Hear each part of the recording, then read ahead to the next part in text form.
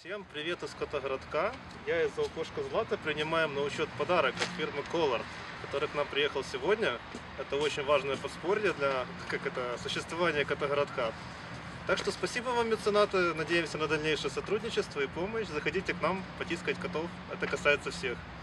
Спасибо.